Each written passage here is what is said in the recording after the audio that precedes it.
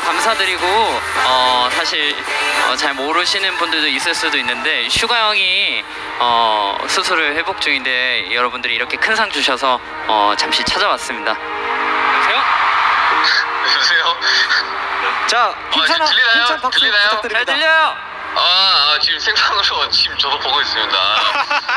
아, 올해 앨범상을 이렇게 주신 아미 여러분들한테 정말 감사하다는 말씀 드리고 싶고요. 또 작년에 이어서 이렇게 또 받게 돼서 올해 가장 사랑받은 앨범이잖아요. 저희들이 정말 미국에서 열심히 준비해가지고 들고 들어와서 정말 많은 분들이 어, 사랑해주셔서 너무 감사했고요. 특히나 어, 저 올해 앨범상이라니 참 마음이 참 저도 보고 있는데 좋네요. 아, 싶은데 지금 열심히 제안하고 있으니까요, 여러분들. 어, 너무 걱정하지 마시고 주변에서 뭐, 뭐 마마 잘 보고 있다고 연락 오는데 제가 없는데 그러더라고요.